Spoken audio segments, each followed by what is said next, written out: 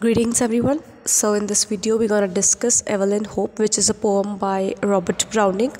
So before jumping into the poem uh, we must know about Robert Browning which is very important अगर आप कोई भी pome लिख रहे हो तो उसके ऑथर के बारे में पहले इंट्रोड्यूस करना उसके ऑथर को इंट्रोड्यूस करना इज़ सुपर इंपॉर्टेंट तो मैंने अपनी प्रीवियस वीडियो में रॉबर्ट ब्राउनिंग के बारे में काफ़ी डिटेल में बताया विद नोट्स ठीक है और उसके ड्रामेटिक मोनोलॉग के बारे में बहुत डिटेल में बताया तो आप वहाँ पे जाके उसके नोट्स लिख लो, ठीक है नोट्स स्क्रीनशॉट कर लो।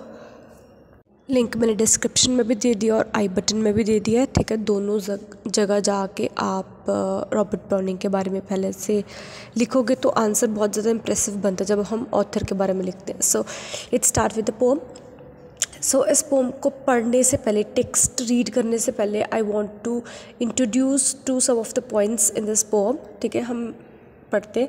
Evelyn Hope was first publish in Browning's Mary and women in eighteen fifty five later it was included in dramatic lyrics ये थोड़ी सी चीज़ें होती हैं जो आप स्टार्टिंग में इंट्रोडक्शन में लिख सकते हो और एक दो चीज़ें याद करके लिख लो तो बहुत ज़्यादा अच्छा इफ़ेक्ट पड़ता है। क्रिटिकल समरी थोड़ी सी रीड करते हैं, उसके बाद हम टेक्स्ट पढ़ेंगे।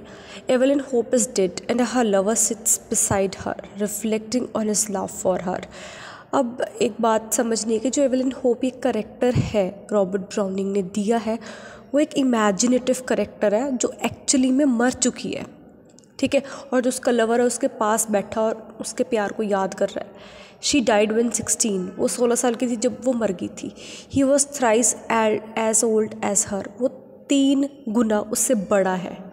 And had not told her of his love और एवलिन होप को वो कितना प्यार करता है, उसने कभी उसे बताया ही नहीं। But he is confident that God who creates love will reward love too और उसे पूरा भरोसा है उस लवर को कि जो भगवान ने प्यार बनाया है, उसे वो प्यार देगा भी। He is sure of meeting Evelyn in heaven after traversing several worlds he places a leaf in her cold hand as a token of love तो वो क्या करता है? कहता है कि मुझे भगवान ने इस जन्म में नहीं बट आगे जन्म में या स्वर्ग में ज़रूर उससे एवेलिन से मिलवाएगा। और फिर वो क्या करता है? एक लीफ, एक पत्ता उसके ठंडे हाथ मतलब ऑब्वियसली वो मर गई है तो उसके हाथ ठंडे होंगे। उसके हाथ में एक प्यार का संदेशा दे जाता है। ठीक है? सो नेक्स्ट इज़ ये इंट्रोडक्शन में लिख सकते हो और बहुत अच्छी इंट्रोडक्शन है ये, ठीक है जी? Evelyn Hope is a dramatic monologue with lyrical element ये एक ड्रामेटिक मोनोलॉग है. ड्रामेटिक मोनोलॉग क्या होता है? उसकी डेफिनेशन क्या है? उसके सारा डिटेल में मैंने प्रीवियस वीडियो में आपको बताया। तो वो आप जाकर देख लेना। It is dramatic because an imagined character speaks and the poet is not subjectively involve जो एक एवलिन होप करेक्टर है, वो एक इमेजिड करेक्टर है. पोइट ने पोइट ने खुद बनाया है, ठीक है जी? तो जो स्पीकर है इसमें, वो पोइट नहीं है, वो एक इमेजिन करेक्टर है Evelyn Hope but it also lyrical in the sense that it has emotional quality and intense feeling of love in it ठीक है? तो एक इमोशंस है इसमें, इसलिए इसको लिरिकल पोएम भी बोल सकते हैं. The poem ranks high among the love poetry of Browning and is very popular with readers एक बहुत लव पोएम है. इस कारण ये बहुत हिट थी. it is the utterance of love which has missed its fruition in this life, but confidently anticipates it for a life. तो ये कह रहा है कि इतना ज़्यादा प्यार के बारे में पोम है कि इस जन्म में चाहे वो उस लवर को प्यार नहीं मिला बट वो नेक्स्ट लाइफ में या हेवन में चाहते हैं उसे प्यार मिले। The beloved was a young girl of sixteen years her lover is three times her age and he has never disclose his feelings to her when she was alive She hardly knows him. The situation, as so often in Browning, is unusual. So हमने ये सारा पढ़ लिया है but वो कह रहा है कि जो ये ब्राउनिंग की पोम्स में ये जो सिचुएशन है वो कभी ऐसी होती नहीं है कि जो लवर है उसने कभी बताया ना हो उसकी बिलेविड की वो उससे प्यार करता है बट ये थोड़ा सा डिफरेंट है a middle aged man in love with young girl could easily appear ludicrous But Browning makes a beautiful and touching love poem out of material. Now the girl is dead and her lover sits by her deathbed and reflects. The moment is one of the crisis in character's life. As the lover speaks, we gain a glimpse into his soul. We also get a picture of a dead girl. So जो lover है वो उसके death bed के साथ बैठा है और वो सोच रहा है कि उसकी लाइफ कैसे थी तो अब हमें पता लग गया स्पीकर कौन है लवर है जो उसके डेथ बेड के एवलिन होप के डेथ बेड के साथ बैठा है ठीक है? और हमें लवर के बारे में भी जानने को मिलेगा और एवलिन होप के करेक्टर के जान आ, के बारे में जानने के लिए भी मिलेगा जब हम टेक्स्ट रीड करेंगे। So this is the introduction of the poem now we are moving to the text beautiful Evelyn Hope is dead sit and watch by her side and our lover कहता है कि Evelyn hope मर चुकी है। मैं बैठा हूँ और उसे देख रहा हूँ, उसके पास बैठा हूँ और एक घंटा हो चुका है। This is a book shelf this her bed ये उसका बुक शेल्फ है, जिससे हमें पता लगता है कि वो किताबें पढ़ने की शौकीन होगी Evelyn Hope this her bed ये उसका बिस्तर है। She pluck that piece of geranium flower geranium flower का उसने एक पीस उठाया था beginning to die in the glass glass का मतलब नीचे मैंने एनोटेशंस में आपको दिया, वो साथ साथ पढ़ लो आप। द वेस फॉर फ्लावर्स ठीक है, वो जो एक वास होता है फ्लावर्स का, जिसमें फूल डाल के लगते हैं, उस वास को क्या बोलते हैं? ग्लास बोल देते हैं। और वो भी जो फ्लावर है, वो भी अब मरना शुरू हो चुका है। Little has yet been change I think कहते हैं कि शायद कुछ ही बदला है। द शटर्स आर शट मतलब जितने भी खिड़कियाँ दरवाजे हैं उस कमरे के जहाँ पे उसकी डेड बॉडी पड़ी है जहाँ पे लवर बैठा है उसके पास उस कमरे के उस जगह के सारे दरवाजे बंद हैं। नो लाइट में पास। कोई भी लाइट कहीं से भी अंदर उस कमरे में नहीं आ रही। Save two long rays through the hinges chink ठीक है? बस दो आ, दो रेज आ रही हैं लाइट की। कहाँ से आ रही है? हिंजेस चिंक हिंजेस चिंक का मतलब एनोटेशंस पे रीड कर सकते हैं आप।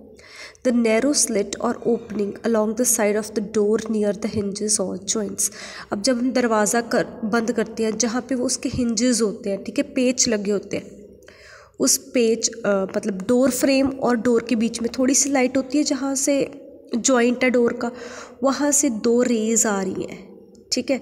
सिर्फ़ वही दो रेज है, वो कमरे में आ रही हैं, बाकी सब कुछ शांत है। So we are moving to the next stanza sixteen years old when she died सोलह साल की थी जब वो मर गई पर she had scarcely heard my name मतलब शायद ही जब वो ज़िंदा थी उसने मेरा नाम सुना होगा। It was not her time to love beside अब कोई टाइम नहीं है उसे बताने का कि मैं उसे प्यार करता हूँ क्योंकि जब वो ज़िंदा थी तो मैंने बताया नहीं। Her life had many a hope and aim उसकी लाइफ में बहुत सारे उसके पैशंस थे, बहुत उसके एम्बिशंस थे। Duties enough and little cares बहुत सारी ड्यूटीज़ थी, बहुत सारे इंपॉर्टेंट काम थे केयर्स मतलब स्मॉल लिटल थिंग्स जो इंपॉर्टेंट होती है। नाउ वॉज़ क्वाइट अब वो बहुत शांत थी। नाउ अस्टर स्टर मतलब हिलना अस्टर मतलब कुछ भी ना हिले। अब वो हिलने ही रही थी। Till God's hand beckoned unawares अब जो गॉड है, उन्होंने उसको बुला लिया है। अनअवेयर मतलब बिन बुलाए गॉड ने इशारा किया और वो भगवान के पास चले गई है। And the sweet white brow is all of her और उसका जो इतना सुंदर सा वाइट सा फेस है, वो बहुत सुंदर लग रहा है। Is it too late then Evelyn Hope वो कह रहा है कि मैं प्यार का इजहार करने में क्या बहुत लेट हो गया? What your soul was pure and true वो कह रहा है कि तुम्हारी जो सोल थी वो बहुत ही प्योर थी, बहुत ही सच्ची थी। The good stars met in your horoscope horoscope का मतलब हम मिलाते हैं ना कुंडलियाँ वगैरह। तो कहते तुम्हारी कुंडली बहुत अच्छी थी। उसमें जो शनि स्टार्स ये जो सब चीज़ें थी, वो बहुत सही जगह पे थी। Made you of spirit fire and dew तुम्हारी जो आत्मा है, वो किससे बनी है? स्पिरिट से फायर से ड्यू से। ठीक है? सो फायर का मतलब हमने एनोटेशंस में देखो, लिखा हुआ है। Signifying brightness purity and enthusiasm ठीक है? तो बहुत ही प्योर थी वो ब्राइट थी वो। और ड्यू का मतलब क्या है? Signifying soft and tender qualities की उसका जो दिल था, बहुत मुलायम थी सॉफ्ट थी। And just because I was thrice as old और अब मैं तुमसे तीन गुना ज़्यादा बड़ा हूँ। And our paths in the world diverge so wide और हम दोनों के रास्ते बहुत ही ज़्यादा अलग अलग हैं। Each was not to each must I be told we were fellow mortals not beside अब इस लाइन का मतलब नीचे दिया हुआ है। वो कह रहे हैं कि सिर्फ़ हम एक दूसरे के लिए ह्यूमन बींग्स थे, तुम मेरे लिए इंसान थी, मैं तेरे लिए इंसान था। सिर्फ़ यही मतलब था हम दोनों का एक दूसरे के लिए। ये बोल रहा है। No indeed for God above is great to grand as mighty to take अब वो जो पीछे उसने क्वेश्चन पूछा था लास्ट टेंजा में कि हम एक दूसरे के लिए सिर्फ़ एक मॉडल्स ही है ह्यूमन बींग्स ही है। उसका जवाब दे रहे नहीं, अभी नहीं। ठीक है, इसका जवाब वैसे आपको लास्ट टेंजा तक मिल जाएगा कहता भगवान बहुत दयालु है, बहुत बड़ा है and creates the love to reward the love कहता कि उसने इतनी दुनिया में इतना कुछ बनाया है और मुझे भी वो प्यार का रिवॉर्ड देगा। I claim you still for my own love sake कहता है कि शायद भगवान ने तुम्हारे अंदर भी मेरे लिए कुछ प्यार डाला हो। Delayed it may be for more life yet कहता है कि पता नहीं है कितना डिले होना। इस जन्म में तो तुम मेरी नहीं हुई। अगले जन्म में भी शायद ना हो, ठीक है? तो हम नीचे एनोटेशंस में देखेंगे।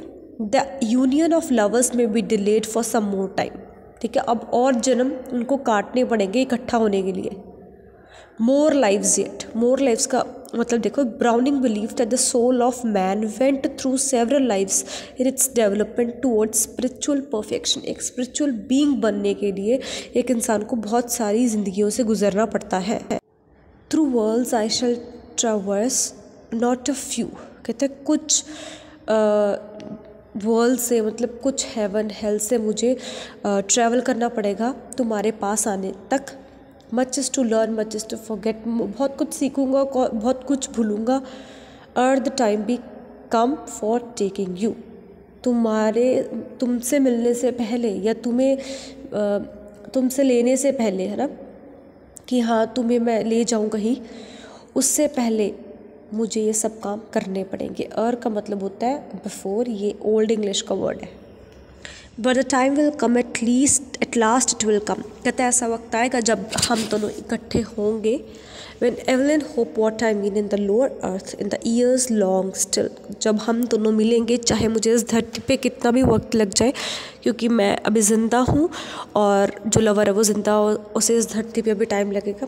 That body and soul so pure and grey जो तुम्हारी बॉडी है, आत्मा है और दोनों ही बहुत ज़्यादा प्योर है और गे मतलब हैप्पी है। वायो है was amber I shall divine वो कहता है कि तुम्हारे जो बाल हैं वो येलो कलर के हैं मतलब गोल्डन कलर के हैं, जो बहुत ही अच्छे हैं।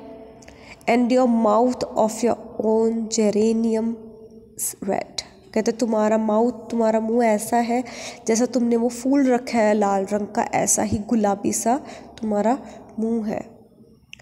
And what your, and what you would do with me in fine. In the new life come in the old one's stead कहता है कि अब हम दोनों दूसरी दूसरे जन्म में क्या करेंगे? ऐसे ही जैसे हम अब हैं, हमारा प्यार ऐसा ही रहेगा न्यू लाइफ में भी. I have lived so much since then given up myself so many times अब वो कहता है कि मैं तब से जी रहा हूँ। The lover will tell Evelyn how much experience he had gain मतलब लवर बता रहा है कि तुमसे मिलने के बाद मैंने कितने एक्सपीरियंस गेन किया है। ठीक है? और मैं बहुत चाहता था कि मैं मर भी जाऊँ क्योंकि मैं तुमसे मिलना चाहता था। ठीक है? Ransack the ages spoil the climes अब वो कहता है कि जो मैंने रिच नॉलेज एब्जॉर्ब की है, काफ़ी सारी कंट्रीज़ से। ठीक है? तो ये मे बी एक लॉस भी है और एक प्रॉफिट भी है। Get one think one in my soul's full scope either I missed or itself missed भी बट एक चीज़ मैं बहुत शिद्दत से चाहता हूँ और शायद वो मुझे मिस कर रही है या मैं उसे मिस कर रहा हूँ। And I want and find to Evelyn Hope वो कहता है कि मैं सिर्फ़ तुमसे मिलना चाहता हूँ। What is the issue let see वो कहता है ईशू है क्या? सो एनोटेशंस में देखो what the outcome will be only time will tell वो मिलेंगे नहीं मिलेंगे और क्या रिज़ल्ट निकलेगा ये तो टाइम ही बताएगा. सो so, हम अपने लास्ट टेंसा पे आ गए हैं. I love to Evelyn all the while कहता कि मैंने तुम्हें हमेशा से ही प्यार किया है. My heart seemed full as it could hold कि मेरा दिल पूरा भर चुका है. उसमें कोई जगह नहीं है क्योंकि उसमें सारी जगह तुमने ले रखी है. There was place and to spare for the frank young smile कि मैं, तुम्हारी स्माइल बहुत ही अच्छी है। And the red young mouth and the hair's young gold पीछे उसने रेफरेंस दिए थे यंग माउथ के भी और हेयर के भी। तो वो कहते तुम्हारे बहुत ही अच्छे हैं। फिर से तारीफ़ करें सो हाश चुप हो जाओ। I will give you this leaf to keep वो एक लीफ देता है उसे रखने के लिए। See I shut it inside the sweet cold hand देखो, मैं तुम्हारे हाथ के अंदर वो लीफ रख रहा हूँ। कोल्ड हैंड क्योंकि वो मर गई है तो अब वो ठंडी है। There, that is a secret go to sleep वो कह रहा है ये हमारा सीक्रेट है कि तुम्हारे हाथ के अंदर मैं लीफ रख रहा हूँ, अब तुम सो जाओ। You will wake and remember and understand कहता है, अब तुम सो जाओ। जब तुम उठोगे, तुम्हें इस लीफ का मतलब समझ लगेगा। So yes here we end a poem ठीक है? अब मैं थोड़े से आपको नोट्स दूँगी, ठीक है? वो नोट्स आप खुद भी रीड कर सकते हो। आप उसके स्क्रीनशॉट ले लेना क्योंकि पूरा उसमें वही समराइज़ किया हुआ है। बस आपको वो एज इट इज़ लर्न करके लिख के आना एग्ज़ाम में। बिल्कुल जेनविन आंसर्स आप देखोगे, आपको समझ लग जाएगा। ठीक है? अगर आपको वो नोट्स की पीडीएफ चाहिए, यहाँ पे स्क्रीनशॉट तो आप ले ही सकते हो। कुछ और एडिशंस करके पीडीएफ भी चाहिए। तो आप मुझे कमेंट कर दो ठीक है? तो मैं फ़र्स्ट कमेंट में या फिर डिस्क्रिप्शन में पीडीएफ डाल दूँगी ठीक है? सो so, ये आंसर है touching pathos of the situation and optimistic philosophy कि ये जो पोअम है इतनी पॉजिटिव क्यों है इतनी ऑप्टिमिस्टिक क्यों है ठीक है? ये सारा लवर के बारे में आपको पता लग जाएगा और ब्राउनिंग की सोच के बारे में पता लग जाएगा। ये एज इट इज़ आप लिख के आ सकते हो ठीक है जी? सो so, ये ऑप्टिमिस्टिक फ़िलासफ़ी का फ़र्स्ट पैरा कॉन्टिन्यूएशन में है। सेकंड में देखो इमेजरी एंड स्टाइल कुछ भी आप लिखते हो इधर अ नॉवल और a poem we must write the style of the subject we are writing style हमें पता होता है ना जब तो वो बहुत अच्छा इंप्रेशन डालता है हमारे एग्ज़ाम पे। ठीक है? तो स्टाइल के बारे में यही है कि क्या क्या वर्ड्स यूज़ किए हैं जैसे हिंट्स चिंक यूज़ किया था तो वो क्या इमेजिनेशन दे रहा था। इमेजरी का मतलब होता है कि ऐसे वर्ड्स जो हमें इमेजिन करवाए। जैसे हिंस चिक जो था, हमने इमेजिन किया कि हाँ सच में वो हिंजेस से दो रेज आ रही थी, ठीक है? हेयर्स यंग गोल्ड हमने इमेजिन किया कि एवलिन के जो हेयर्स थे, वो बहुत ज़्यादा गोल्डन थे, ठीक है? तो ये आप लिख सकते हो। जो ये लाइंस लिखी हुई है ना and just because I was thrice as old पूरी पोम में से ना कोई भी दो या चार लाइन्स ज़रूर लर्न करके जाया करो सो दैट कि आप उससे कोट करके आओ इन्वर्टेड कॉमर्स में with the alternate pen like अगर ब्लू पेन से पेपर लिख रहे हो तो उसको आप ब्लैक पेन से लिख के आ सकते हो। जैसे ये लाइन्स इंपॉर्टेंट तो मैंने यहाँ पे आपको बताया है। ये लाइन्स आप लर्न करके जाना और सो दैट्स इट अगर आप किसी और पोम की और कोई और चीज़ की भी वीडियो चाहते हो तो comment me and do subscribe thank you